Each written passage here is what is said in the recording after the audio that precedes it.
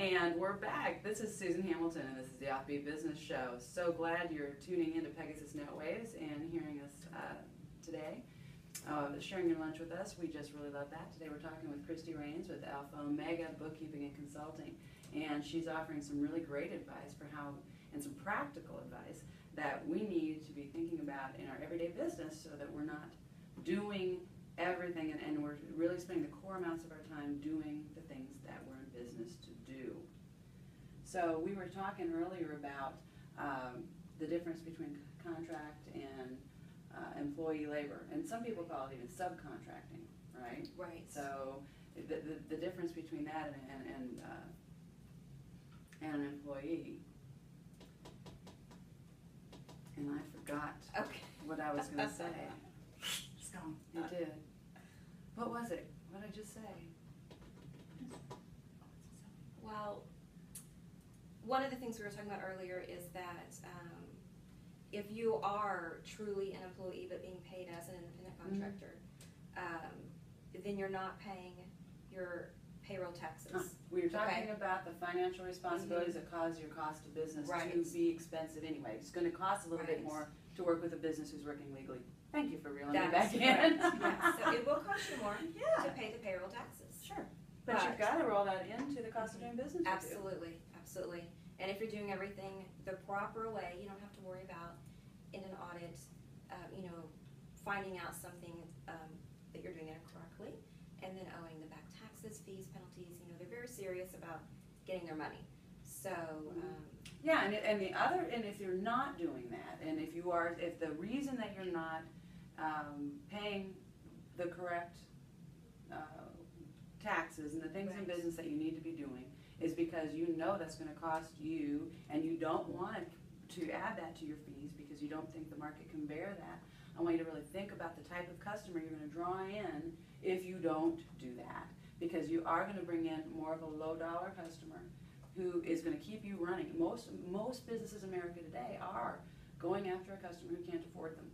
right, And that's a ridiculous uh, way to spend your life because you're on a hamster wheel on a regular basis trying to accommodate people that don't allow you to grow in business. So by focusing, by not being afraid to pay those taxes and to, pay appropriately, you can really elevate your business and start attracting the right customer Right. that you want. right. Because it's all about the right customer client for you. Absolutely. And not everyone is meant to be your client. You know? Ah, very good. Pam talks about that. Absolutely Yeah. not. Uh, you know what, what? What I thought was really interesting is how frequently we don't understand what a balance sheet looks like, Right. and and what it looks like our, when our, our numbers are put out professionally. You know, what does that look like? I think a lot of us are not uh, spending enough time preparing that and look, taking a good hard look at our our numbers. But we were talking uh, yesterday about all the different ways that can benefit you, Right. and if you want to sh- expound on that a little bit. If you're a business owner and you've never seen your financials, you've never produced a balance sheet and a P&L, profit and loss statement, then you really do have a, an issue. You don't know your bottom line, you don't know where all your income is coming from specifically. You might have some revenue streams that are doing really well, and you should be pushing those more. Some that aren't doing so well, that maybe you need to get away from. And then the expenses is where I really like to talk about the end of the year, is you really need to look at all your expenses. And what, you know, particular expenses, what are they doing for you? You know, if you have a vendor, say a certain marketing vendor, Mhm. is it really bringing you what you thought it would bring? You know, look at everything, and it is the time to cut. Cut whatever you don't need. Cut the fluff, get it, get it out. Oh, wow. Yes. This is in a time when everybody says spend more. This is a message from a, a professional accountant. Yes, I, Very cool. I say it is the time of year where you need to get everything in order to start January fresh. So if you have extra expenses, you need to get them out. Some people have expenses that they don't even know they still have. Maybe they signed up two years ago for a service and they don't even know that they still have it.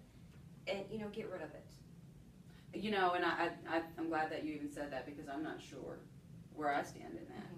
Uh, I could definitely be guilty of that, so it'll be handy to have another set of eyeballs looking at that and tracking that and, and, and uh, pointing that out to me. You know, because you, you, you work with the business on the advisory, Right. you're like the advisory panel. You're Right. like that, that consult, you bring that consultancy to a business to help them understand how they can be making more sense. with what they're doing. Absolutely. That's wonderful. Um, so any, do you see any other areas, i- for instance, if it's take, you said earlier that it's gonna take countless hours for most businesses to manage their own financials through the course Right. of the week. That is true. But you can, you, you know this well enough that you can take one quick look and you know. I, yes, uh, if someone comes to me and they have issues, now, they typically don't know all of their issues, Mhm. okay? Ah, so that's really wonderful there, you're revelatory in that. Yeah, so, so that's one of the big pieces. Um, but yes, I can, I usually do, um, a needs assessment with them. And so go over all of their information, the way that they run their business, um, their revenue streams. And then I'm able to tell them, okay, you know, here's what needs to be done. Uh, and this is what will get you your financial statements. And you, until you get your financial statements, you know, it's hard to really move forward with your business. I would say that that's very close to what I'm, what I'm teaching with baselines. You, if you don't know where you're starting, Right. even with marketing, when you wanna know, uh, okay, so I've never done email marketing, so now I'm gonna do it. Well, I don't know what to gauge that against, I don't know if I'm doing a good job. So start record keeping now, start paying attention to your analytics now, because next year you'll have something to gauge that. You're gonna have information you can go back and reflect on.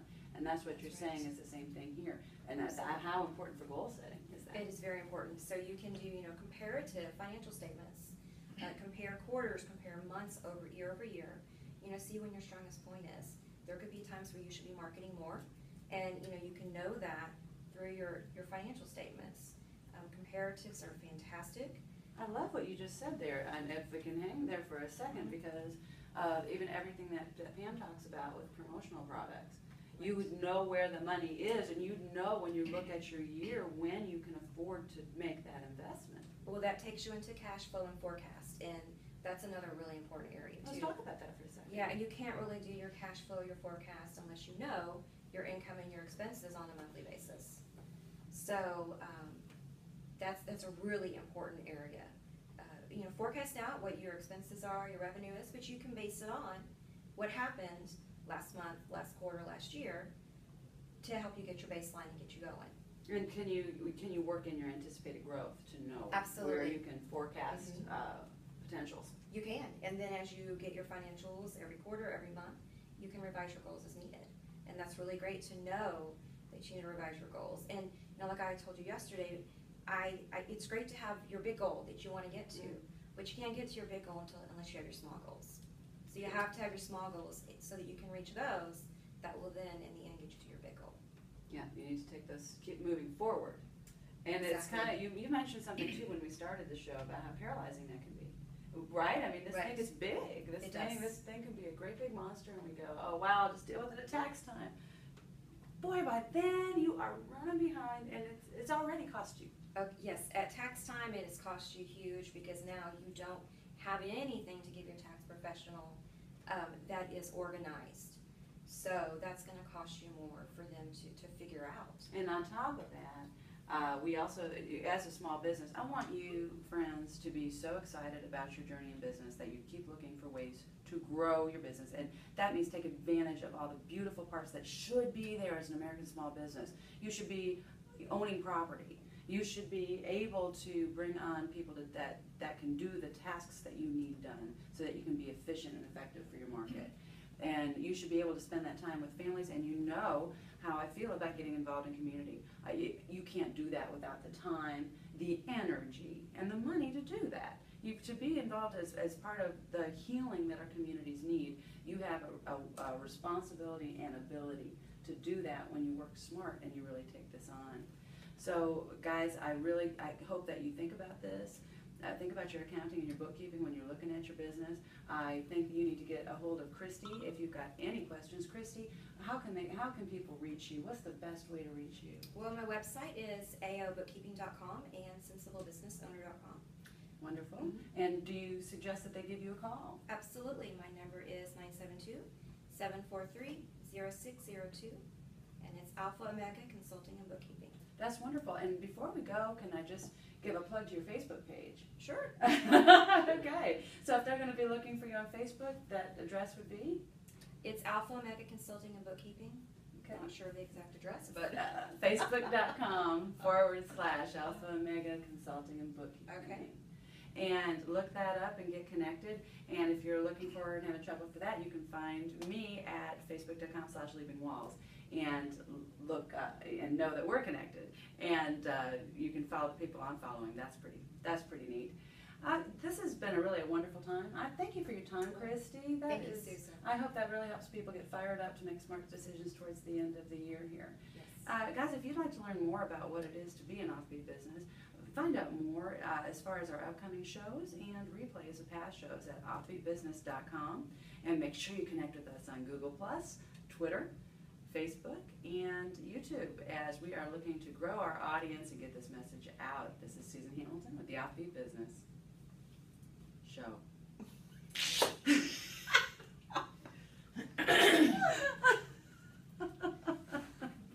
Go ahead. You want to pop that off there?